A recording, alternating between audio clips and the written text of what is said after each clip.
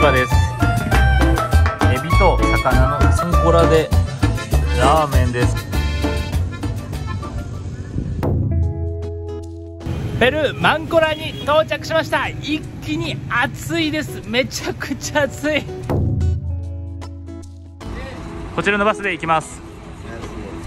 9時間町原へ向かいます。今回も広いビールそして160度席止まります。間遅れで到着しました町原です。ここで乗り換えのバスを購入しました、えーここから町原からマンコラまで18ドル。こちらのバスで4時間マンコラへ向かいます。ペルー入国します。さあマンコラへ向かいましょう。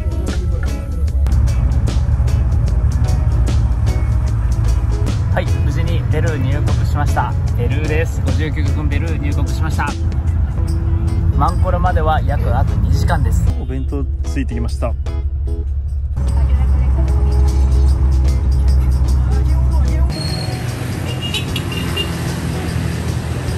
久しぶりのトゥクトゥクで宿に向かいます。ビーチに到着しました。マンコラ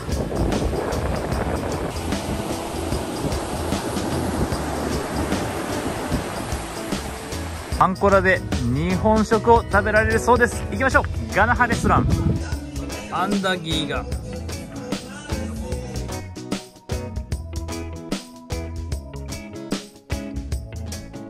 ペルーマンコラでまさかお寿司食べるとは。ソイソース。オレンジのソース。照り焼きです。うわすごい。マンコラでラーメンです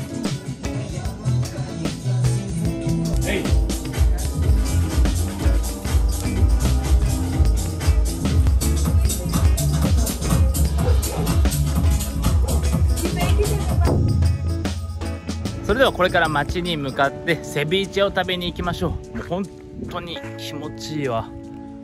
宿の前はこんな景色です。そしてここが宿で海。こ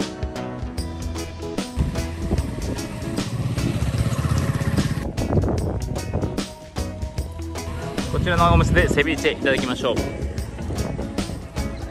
エビと魚のセビーチェです。すげえでかい。さあインカコーラいただきましょう。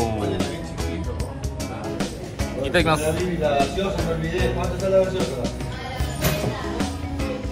うんまレモンとパクチーかな。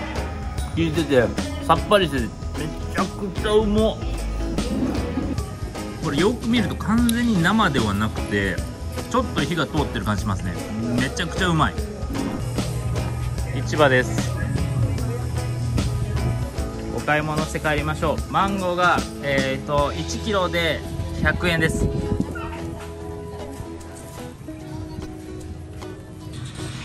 美味しそうなパンがいっぱいあります。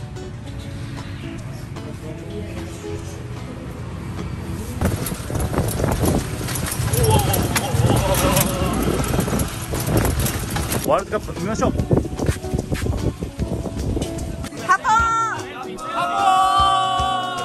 ちらのお店で夜ご飯いただきましょう。ランゴスター。ロブスターこんな大きいと思わなかった。そう。ご飯です。うまそう。タタコンです。レジェノです。何なんだろう。海鮮の匂いがする。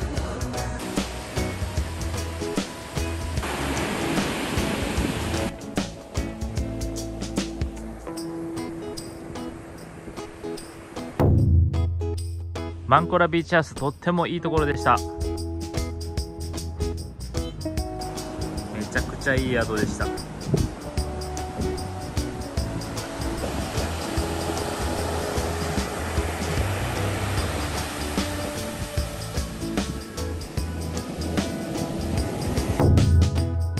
はい楽しかったマンコラ。それ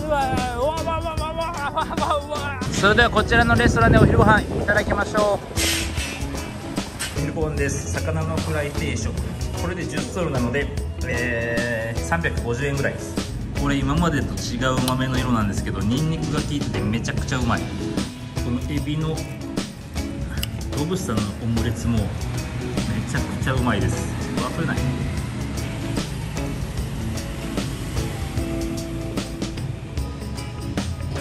バスに乗って20時間今に向かいます。